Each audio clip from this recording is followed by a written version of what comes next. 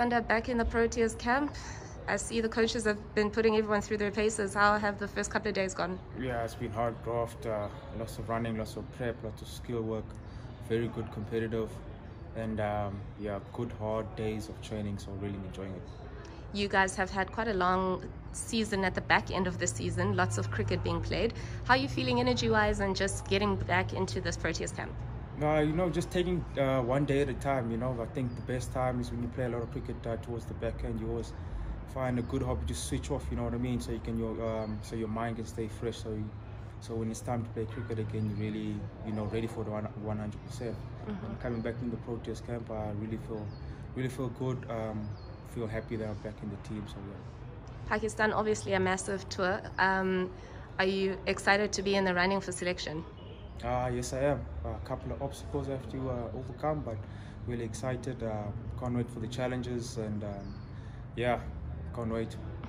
And how does one overcome mental, the mental side of cricket because it's very mentally taxing? Um, how do you overcome challenges and just all the things that come with this game? Um, I think, as I said before, one of the most important things is to always find time to switch off.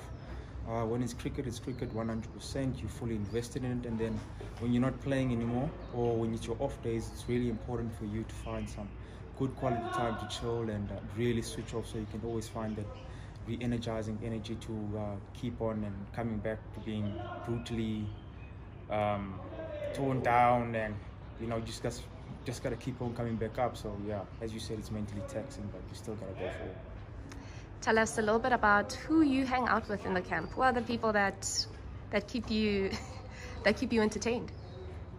Keep me entertained. I am the entertainer. um, no, I chill. I chill with um, uh, Lutho, aka Fresh Legs, um, Anna, Beuran, uh, Timber. Yeah, I chill with anyone really. If, uh, there's opportunity to speak, speak nonsense, I'm there, you know. Um, yeah. There's, I don't. Yeah, I don't have any favorites. There's, um, as you say, you're you're quite very you're quite loud and you're very energetic on the field, particularly. Um, do you do you enjoy that that role in the team, being the guy who gets the mood up and who gets guys cheat up? Um, I wouldn't say really too loud in terms of um, words. I like to think of it as I'm leading through action. So maybe crack a couple of jokes and then the guys will be all right, geared up, and uh, just take them. Like maybe if they're having a, a bad day, I always feel like, okay, if I can cheer this person up, I can do that by speaking nonsense or taking them to the corner or whatever. But just to take their mind off what they're going through and then, uh, yeah, just trying to switch their mental in a way. So, yeah. I'm an uncle.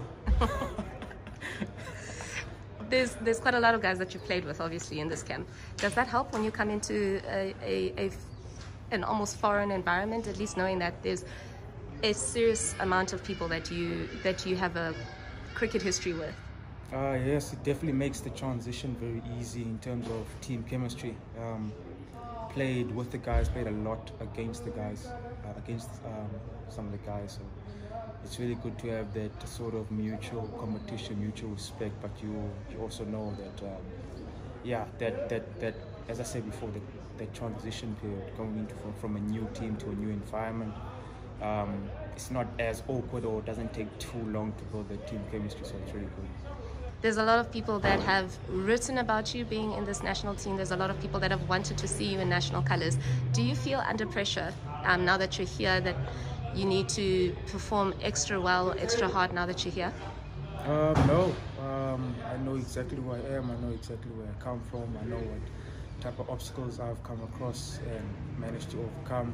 So I know what type of character I am. So in terms of pressure, it's actually a privilege to get pressure, to be pressure, but also it's actually good because when you feel pressure, you're very um, excited to, to, to do well. Um, but apart from it, as I said before, take it one day at a time.